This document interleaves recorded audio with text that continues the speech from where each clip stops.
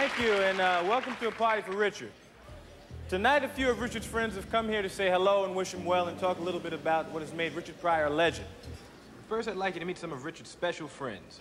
Sugar Ray Leonard, Tommy the Hitman Hearns, George Foreman, Muhammad Ali, and here with his friend Chevy Chase, another world champion, Mr. Richard Pryor.